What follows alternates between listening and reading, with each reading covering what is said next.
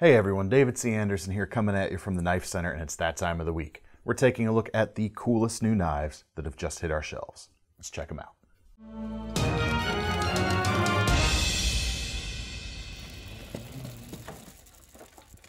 Okay, folks, starting off this week with an exclusive. One of my favorite exclusives, I think, because after all, I am a Nessmuk fan. This is the Revo Ness with that kind of characteristic blade shape. Knife Center exclusive here with the new Micarta handles. Micarta. Micarta? Micarta. That sounded weird the way I said that, but we're going to roll with it. Micarta, Yokarta. We all carta together on this really cool Add to cart. Add to cart. There you go. Natural micarta handles, uh, slightly different shape uh, than the original G10 versions here. There's just a little bit more sculpting on the edges and reversible deep carry pocket clip here. Pocket clip itself is a little bit shorter. Uh, the old version had a fairly long clip by today's standards. Uh, so by making it shorter, it's a little less prone to snagging. Might have a, a little more durability built in because of that. Uh, price on these guys, 66 and a half dollars for that. 3.6 inch blade, D2 steel, awesome full flat grind with this slicey profile. Very, very cool. Ball bearings in the pivot. This is a flipper as well. Really nice shape when folded shut, but when it's time to open, that flipper tab serves you quite well when you go to open it. Really like this guy. Uh, I've carried one of the G10 versions of this uh, for a while myself. Despite the kind of width, when you see it like so, it does carry very easily in the pocket. And that blade shape, man, the geometry on it too just works so well day to day. We've also restocked on another exclusive that's been out for a while, our standard Pakkawood Delica exclusive from Spyderco. Uh, about 156 for these guys with that stabilized laminated material and a HAP 40 laminated blade as well. Kind of lamb, lamb on lamb here, the way these things are specced out. Uh, the core of that blade is HAP 40 high performance tool steel. The outer layers uh, are, I believe they're 420, uh, or no, 410 stainless steel uh, to help protect the blade underneath from rusting because this is a non-stainless steel and also provides a bit more strength as well thanks to that triple laminated construction. Beyond that, it's a Delica. The only thing you don't get uh, that the standard Delicas have is a lanyard hole. Doesn't bother me too much, but keep that in mind. Sub 3 inch blade, full flat grind, super slicey, enough handle length there for most folks to have a full handle without it being too much. Four position pocket clip, ambidextrous lock back there in the middle with the David Boye dent on it. Works pretty much for everyone. And you've got a classy, kind of friendlier feeling Delica, I think, than any of the other versions out there right now. All right, next up, new versions of the James brand Ellis. These are about 119 right now. Slip joint pocket knives, these are non-locking. Uh, you've got a 12C27 blade, 2.6 inches with partial serrations, and you can get this uh, with micarta handles right here with the satin finish or G10. There's a green and a black G10, and on those, the tools are blackened as well. Now speaking of tools, you do have more than one. I'll go ahead and close the blade here. Walk and Talk is a little bit on the softer side, not super crisp, but works quite well. What I'm really happy about though on this knife is the pair of scissors that it gives you. Feels very solid. You've got the uh, back spring there, or sorry, the spring on the scissors acting off of the leaf spring of the slip joint mechanism there. Feels super solid. And I like the, uh, the kind of fuller look as opposed to a nail nick to get it out. Really cool. Uh, as for the rest, You've got a deep carry wire pocket clip and you've got the pry bar tip slash screwdriver there on the end. No bottle opener on this, so can we call it a multi-tool? Yes, but officially no, I should say. Um, pretty cool knife, no matter, even though it doesn't have. It's just a more than that. one tool. It's a it's a more than one tool. It's a multiple tool, one tool option. That's the thing. No, we're we're sorry. I'm not here to make sense. Uh, supposedly I am. We'll see how that's going right now. Pretty cool, these guys. I do like them. Uh, let's keep the slip joint game going here for a little bit.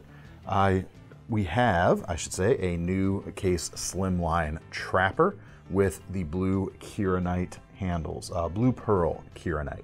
Really nice looking knife. 66 bucks for this, US made, as is typical. Blade itself, not quite three and a quarter inches in length. Case is true sharp stainless with that high polished finish. If you watched our knife FAQ over the weekend, we talked about mirror polished finishes a little bit and how they make Thomas very, very happy.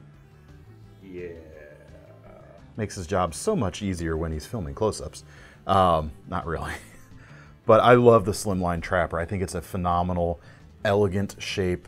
Obviously, the, the slimline in the name, you get that nice svelte, snaky look. Folds up super slim, not super small in the height, but it's going to nestle into a pocket or a uh, gear pouch or anything very easily. Awesome letter opener for sure. Very gentlemanly overall. And the Kirinite, very cool material. It's like a poured acrylic and kind of like micarta in a way. This is one of those materials, if you're sweaty or it's a little wet, it doesn't start to feel slick. It might even feel a little bit tackier, which is pretty cool. This is part of the SparXX series, and that's why you get the uh, little shiny bits there in the shield. If you'd rather have something a little more kind of rustic looking, we've also got a new corn cob jig bone Sodbuster Jr., uh, corn cob antique bone, I should say. I really like the jigging pattern here. I really like the warm character of the dye job on it as well. We're at 55 bucks for this blade here, just over two and a half with that same stainless steel, full height hollow grind on both of these knives and that high polished finish. Being the sodbuster, we don't have anything like a half stop on this knife because sodbusters traditionally were just kind of working man's tools, not anything super fancy, but the jig bone here classes things up, I think, quite nicely. Really like that. If you kind of like these vibes, but you'd rather have some kind of lock, check out this next knife. Schrade is kind of making some moves this year to bring back some of the uh, excitement to some US made products that they haven't done much of uh, since being acquired a few times over the years. But check out this Bruin. We checked out a D2 version of this last week, but here we have a USA made version with 1095 carbon steel. Very similar profile to that Sodbuster Jr. right there. Um, I'm not actually sure who's building these for Schrade right now. Um, but I don't think it's Buck. There's things about it that feel a little bit, or sorry, I don't think it's Case. There's things that make it feel a little bit different than that Sodbuster. The edge itself is a little more refined, in fact. Uh, price on this, $72 right now. For that, we've got chestnut bone handles with almost like a saw cut feel going on. It's not quite the same, I don't think. Um, it's more like lines have actually been scored in the sides. Pretty nice though. The blade, like I said, 1095. If you like classic carbon steel on your, uh, your classic looking pocket knives, this is a great option. Full height hollow grind on this as well. A little bit more of a rise to the spine here, almost slightly humpish in a way. Kind of neat. And of course the back lock keeps things even more safe when you're actually using that blade. You don't have to worry about it folding closed on you in quite the same way. But I'm really excited to see kind of some of the new Schrade uh, USA made stuff, kind of leaning on their heritage a bit. And if they're all going to be put together as well as this, I think we're in for some, some good stuff to come for sure. Keep it on the, uh, the slightly old school train, but we've got a couple folders here from Buck, some classic patterns upgraded to a uh, 2022 limited edition. They're only going to be making these next two knives this year. This is the 2022 Legacy Collection Squire. Really classy looking gents version of their Squire lockback. Although, you know, the standard Squire is pretty gentsy too with the, uh, the standard wood scales, but those aren't limited. No. Now, are they? Uh, 255 bucks for this, however. Bucks, yeah. So make sure uh, you're, this is what you want before you, you drop the money. If you're unsure about the pattern, check out the, uh, the less expensive one, perhaps. But with this one, you are going to get upgraded blade steel. We've got S45, no, sorry, S35 VN on this guy. Two and three quarters of an inch, simple drop point shape. Angled bolster here on the back and a burlap micarta handle that I think looks really good. Big fan of micarta, big fan of burlap micarta, even more so. Lock back there on the end. kind of the same story as this uh, this Schrade Bruin in a way, just a different, kind of different take on the format in a way. Not quite a sodbuster blade shape, but similar utility in this particular knife. One thing you do get with the buck that you don't get with that Schrade, however, is a small pocket, or sorry, a small belt sheath right here. You have just classic leather, snap on the front, although I dare say we don't have it here anymore, uh, but MKM's magnetic pocket sheath, which is available as a standalone thing, could be another option for any of these slip joints right here if you want a kind of faux pocket clip situation. Slide it into that pocket sheath so it stays right in place and it isn't floating around on you. It's also going to protect the, uh, the handles of these quite nicely so it's not floating around in your pocket getting banged up either. All right, next 2022 Legacy Collection from uh, Buck is the Saunter. A bit of a more original design as opposed to an old pattern brought updated. Uh, I don't think, can't remember seeing this at any point in the past, but some Buck uh, Buckheads out there might know a little bit better than I will. Uh, 160 bucks for this guy, S35VN, two and a half inches on the blade, full flat grind as opposed to the hollow grind on the Squire we just looked at, uh, but no lock here. This is back to slip joint construction. Walk and talk, feels pretty nice, no half stop, but the action's snappy enough, certainly. Nice broad fuller there to uh, act as the nail nick and marbled carbon fiber for the handles. Even a bit of a bail sticking out there at the back if you want to add a, a fancy bead or lanyard, something like that. Classy looking piece right there. It's definitely a good, uh, another good gentleman's option and something a bit different from Buck as well. All right, next up, I'm gonna show a custom here and something that is gonna blend kind of some old school sensibilities with new. This has slightly a bit of a uh, kind of an old school custom vibe right here. The Aaron Frederick custom liner locking folder knife. It doesn't have a, an actual name. Pretty good deal for what you're getting here. Only 375 bucks for a custom made knife right here. Very cool. Three and a half inch CPM 154 blade, horizontal grain, single right side thumb stud on this guy. Moving back, we've got titanium dovetailed bolsters with black G10 behind it, and it looks like a green micarta backspacer. I don't even think we have the material for the backspacer listed on the, uh, the spec sheet, but that sure looks like micarta, and I, it might be black, but it could be uh, green that's darkened over the years. Uh, interestingly enough, a lot of black micartas use the green dye, just a lot of it, to get the, uh, the black color. Not all of them, um, but some of them do. It's kind of interesting.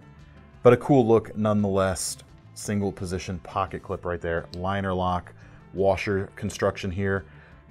Very cool. Like I said, a little bit of an old school vibe to this. It's not quite the uh, the same style as a lot of modern makers right now, but man, check. I mean, look just look how classy that guy is. Really, really dig the gentleman's nature, kind of the executive styling of this knife. All right, next up, a couple of uh, mid-techs. We have some new Olamic to share. The first is a Wayfarer 247 with the, what's the blade? What's the shape? Don't know. Sheep's seen it before. Cliff. Sheep's Cliff blade. It even says so on the website.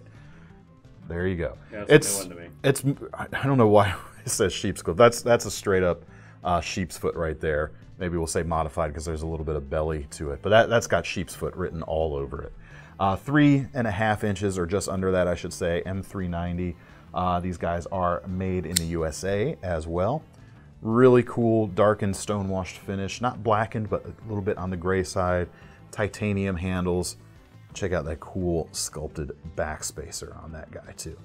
Really nice. 545 bucks for this guy. Got the milled pocket clip right there. Uh, is that milled actually? I'm not sure. It is standing up by posts, but it looks like it's probably milled. Definitely looks like the same titanium material as the handle. And then you got the ball bearing at the pinch point there too.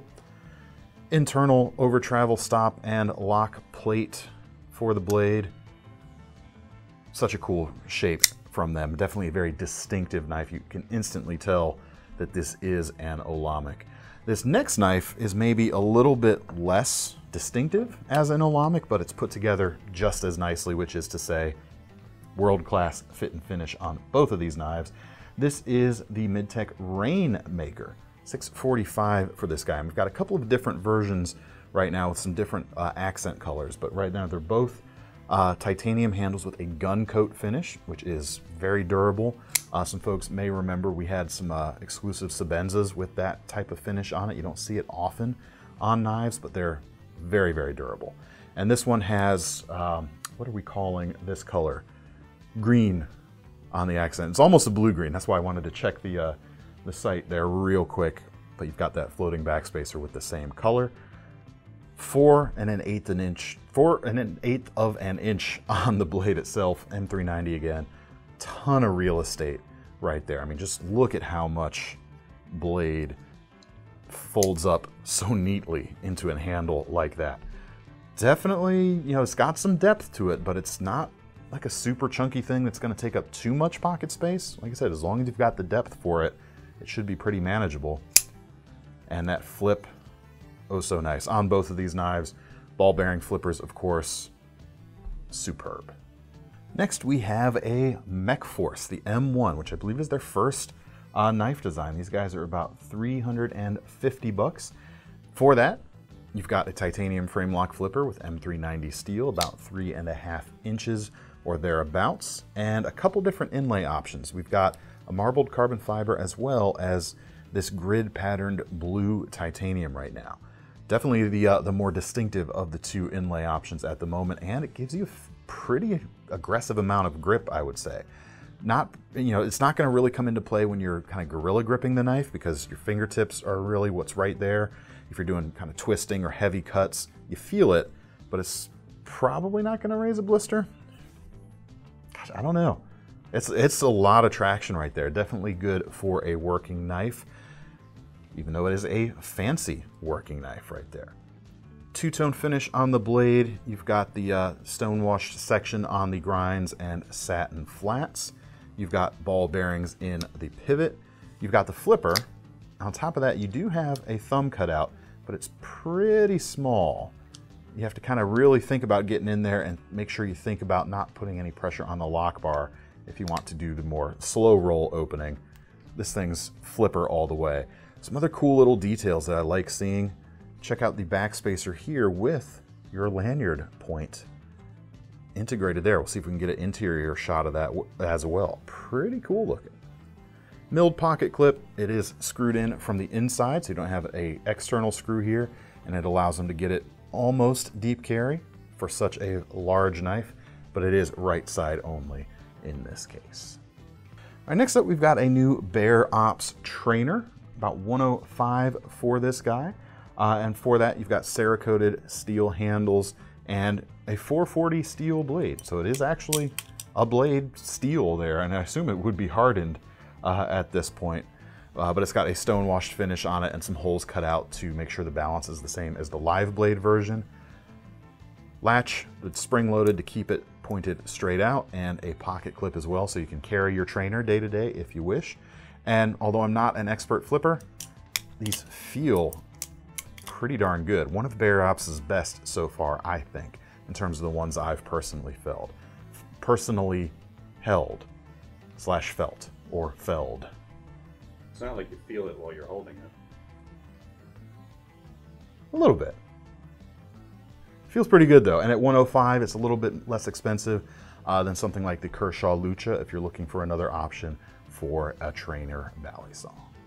Next up we've got a custom Stroup Knives fixed blade. We're going to end the video here with a couple of fixies.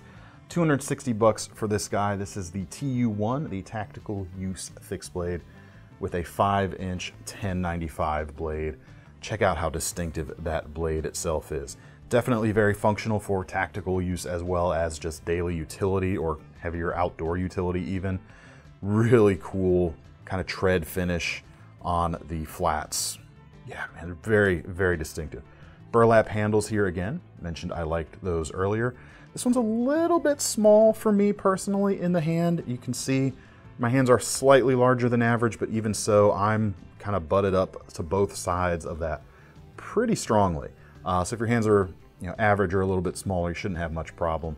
But for a knife like this, purpose driven, that forward and rearward retention is definitely appreciated. Lanyard hole here is a little bit small. You're not gonna be able to fit paracord through there. But on the reverse hold, it actually feels even better to me, especially with this place to rest your thumb here on the back. Nice and agile. Sheath comes with a Tek-Lok on the back of very well-fitting Kydex. Everything you need and not priced too expensively, honestly, for what you're getting here with a custom knife.